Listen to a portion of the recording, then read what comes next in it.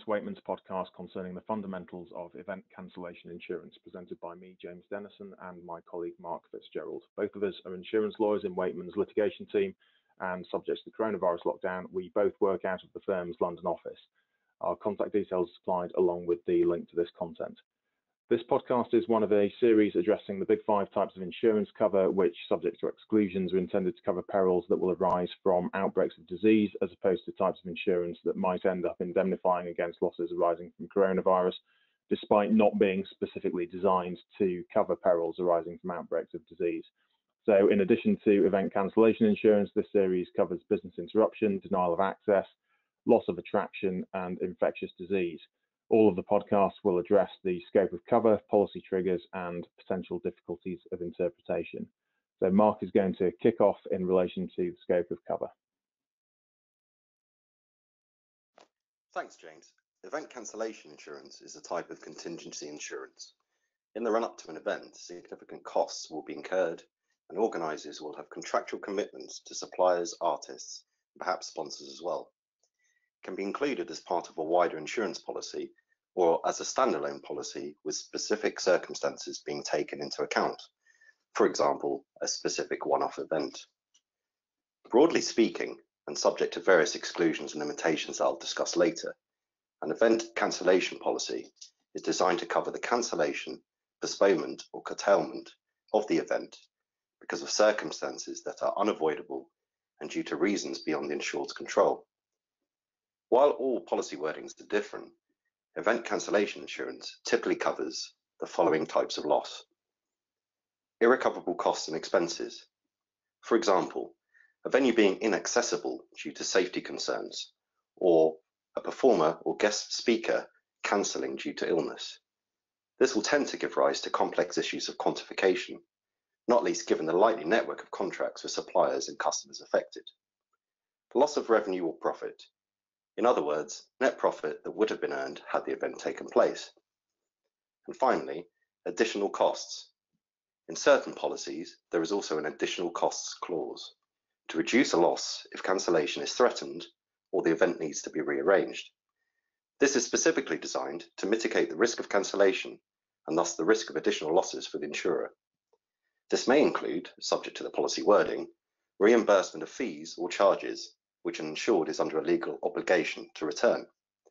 Some policies also include an extension for the payment of refunds where there is no contractual obligation to do so, if it can be proved to the insurer's reasonable satisfaction to be commercially essential.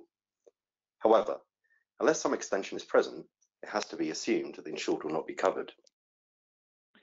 Thanks, Mark. Um, as for the uh, triggers for cover, event cancellation insurance is different from many other forms of insurance in that it's not a prerequisite for cover that the losses suffered are consequent on some form of physical damage. In order to trigger an event cancellation policy, such postponement or cancellation must usually be beyond the insured's control. Uh, the wording may refer to the cancellation being as a sole and direct result of a cause entirely beyond your control.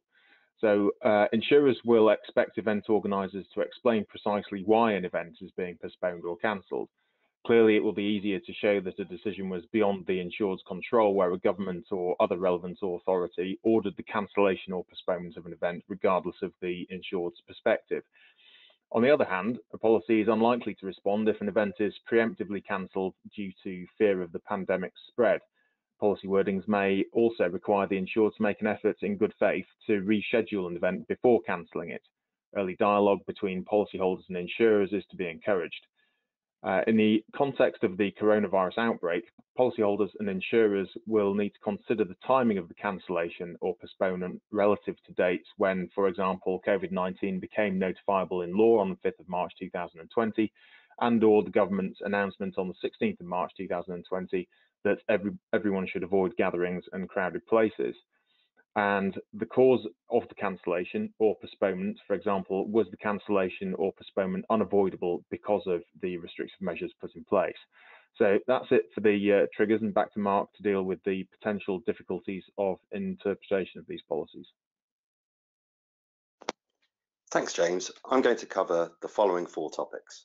Exclusions, communicable disease extensions, quantification of loss, and general conditions. Dealing first with exclusions. Many policies will expressly exclude any losses arising out of or resulting from certain communicable diseases. A communicable disease, like COVID 19, is an illness caused by viruses or bacteria that is spread from one person to another through contact with contaminated surfaces, bodily fluids, blood products, insect bites, or through the air. These exclusions often expressly refer to certain previous global disease events, for example, SARS or avian flu. However, in addition to excluding cover for explicitly named communicable diseases, such exclusion clauses may also contain a catch-all provision relating to any other flu variant or communicable disease, leading to some sort of restriction on movement of people and goods. In some cases, the wording is directly linked to official classifications of the relevant disease, for example, by the World Health Organization.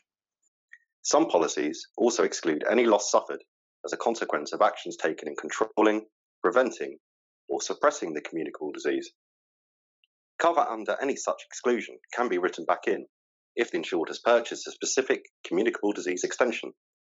Such extensions are often limited or qualified in the following ways excluding any loss arising directly or indirectly from threat or fear of the disease, requiring an order of the government or a civil, public, or local authority to cancel the event or production. In other words, by forbidding gatherings over a certain number of people or to close down the venue in question for cover to be triggered. Restricting the coverage only to outbreaks of disease which originate and or manifest within the confines of the venue, directly leading to closure of that venue. For example, Legionnaire's disease, which is different to something like COVID-19. Policyholders should ensure that any potential loss has been accurately calculated, since claims for irrecoverable costs and expenses incurred and lost profits will give rise to complex issues of quantification. With regard to quantification, communicable disease extensions can have a lower sublimit than the policy limit for cancellation cover.